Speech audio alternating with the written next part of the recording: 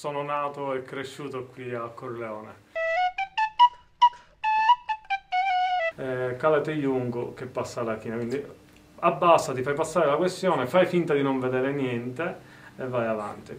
Mai, questo motto non mi è mai piaciuto, non ci è mai piaciuto perché se oggi io sono qua e sto parlando con voi è perché altri ragazzi l'hanno pensato allo stesso modo